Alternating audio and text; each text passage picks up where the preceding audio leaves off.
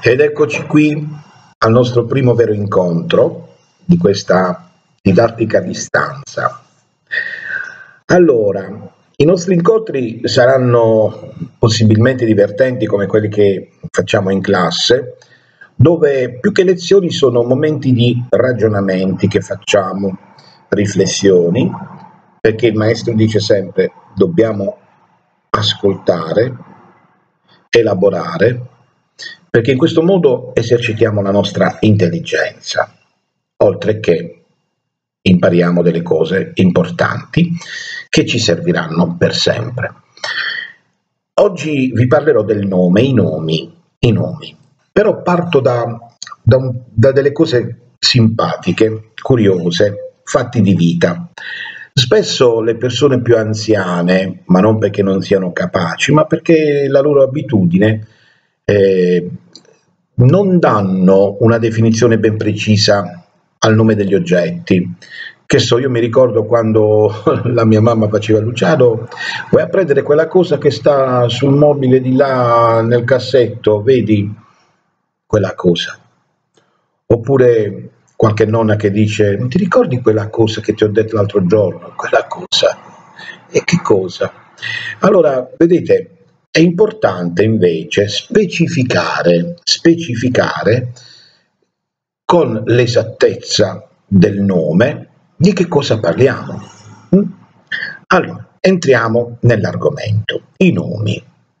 Voi immaginate quando un tempo i nomi eh, non erano così chiari come lo sono oggi, grazie anche a una raccolta che noi attraverso il vocabolario riusciamo a conoscere, migliaia, migliaia, migliaia, migliaia di vocaboli, parole, parole, parole. Però i nomi, restiamo sui nomi.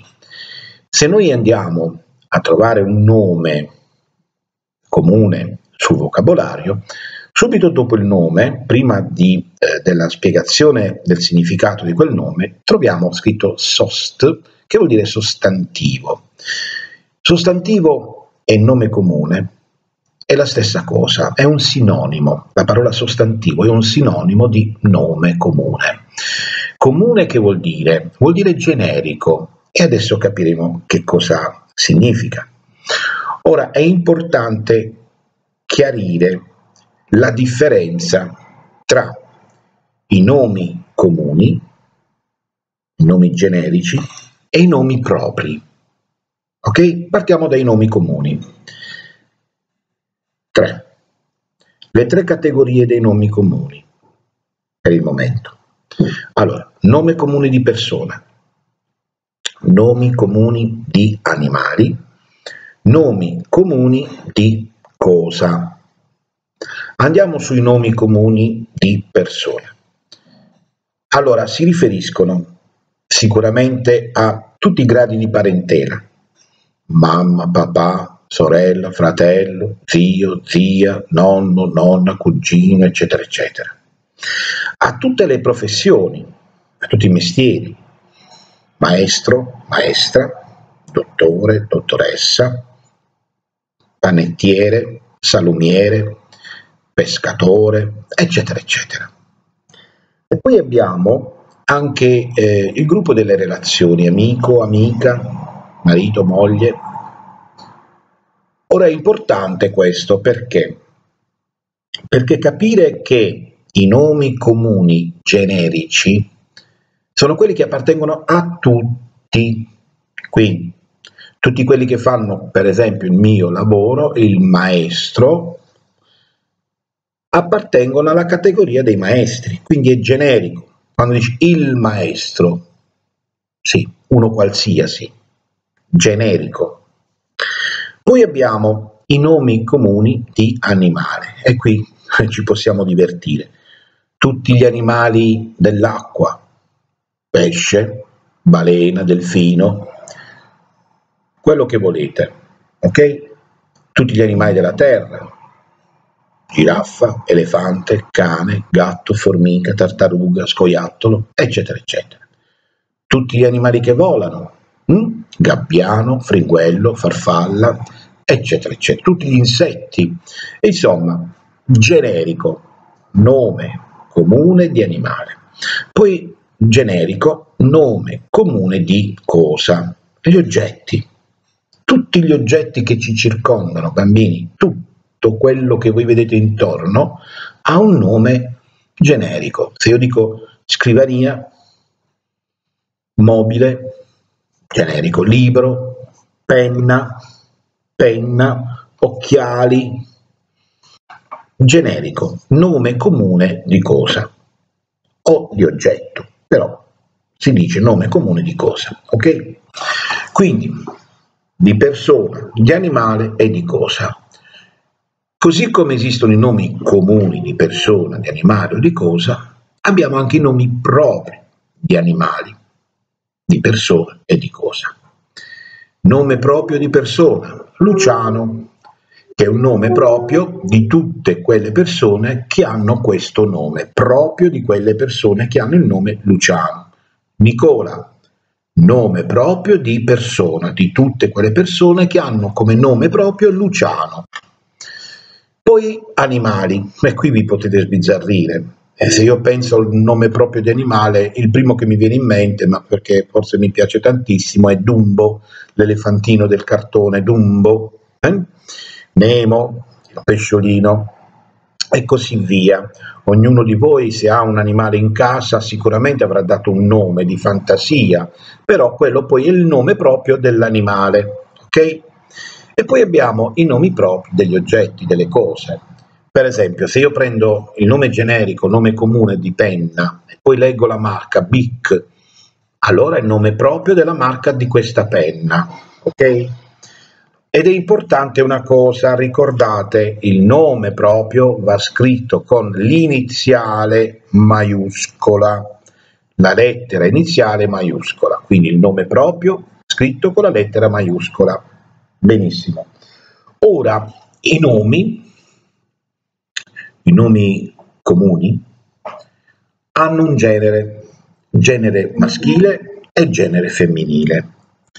Solitamente eh, si dice quando finisce con la O è maschile, quando finisce con la A è femminile. Però vedremo quando approfondiremo più in là che non è sempre così. E allora il maestro vi dice c'è un trucchetto, quello dell'articolo. Vi ricordate gli articoli che abbiamo già studiato, il, lo, la, il, le? Allora, il, lo, noi sappiamo che sono articoli determinativi maschili. La è un articolo determinativo femminile. E allora, pensiamo all'articolo che precede il nome e riconosciamo il genere. Quindi se io dico la penna femminile. Se io dico il quaderno è maschile. Lo zaino è maschile. Allora, è chiaro che in questo caso queste parole finiscono con la A femminile e con la O maschile. Però rinforza l'idea del maschile e del femminile l'articolo che precede. Vi dico questo perché poi quando andremo avanti nelle nostre lezioni noterete che ci sono delle parole che possono metterci in confusione. Con l'articolo andiamo tranquilli. E poi, per ultimo ma non per ultimo, il numero di un nome comune. Il numero può essere singolare, quando è uno solo, la penna, o plurale, quando sono minimo due. Possono essere 3, 4, 5, 10, 1000, però minimo due per dire che è plurale. Le penne. La penna, singolare, le penne, plurale. Ok? Benissimo. Allora, adesso tocca a voi. Prendete un foglio, prendete il quaderno. Il quaderno. Quaderno a righi, mettiamoci la data e mi raccomando, mettete sempre la data perché la data è un riferimento storico del lavoro quando è stato svolto. Mm? È un dato. Poi metteteci il titolo con la penna rossa, i nomi. Ok? Poi il foglio lo piegate a metà e formate le due colonne. Vi ricordate? L'abbiamo fatto spesso in classe. A sinistra e a destra. Allora a capo, a sinistra, gli scrivete in stampatello, scrivetelo piccino così c'entra tutto nella colonna, nomi comuni di persona, ripeto, nomi comuni di persona, qui a sinistra, mentre a destra nomi propri di persona, nomi propri di persona. Una volta fatto questo, a capo, o uno accanto all'altro, uno sotto l'altro, forse potete metterne due per ogni rigo, va bene? Mi fate 10 nomi comuni di persona e 10 nomi propri di persona, due per ogni rigo, va bene? 2, 4, 6, 8, 10, quindi utilizzate 5 righe. 2, 4, 6, 8, 10. Poi andate a capo, penna rossa, zampatello, nomi comuni di animali, nomi propri di animali. E fate la stessa cosa, 10 e 10. Poi andate a capo, nomi comuni di cosa, nomi propri di cosa. Ok? Solitamente in classe vi do una mezz'oretta per fare questo lavoro, non di più, siete capacissimi. E prendetevi il tempo che volete, poi me la, me la inviate sulla piattaforma, ok? Nomi propri e nomi comuni. Allora, solo questo eh, per il momento, quindi niente maschile, femminile, liberi. Il maestro vi ha fatto uno schema su tutto quello che vi ha detto oggi se volete lo potete ricopiare. Vedete i nomi comuni e propri.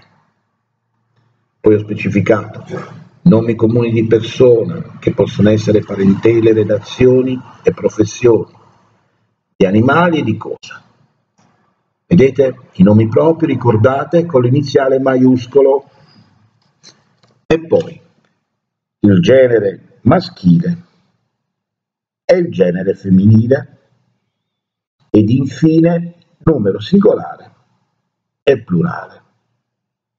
Ok? Ora se volete ve lo potete ricopiare, d'accordo?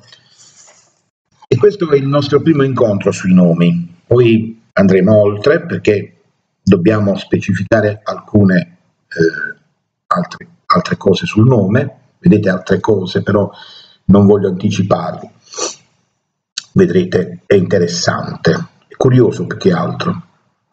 La nostra lingua è una lingua molto interessante. Allora, per concludere, il maestro, come spesso capita, per rinforzare la conoscenza, vi fa cantare.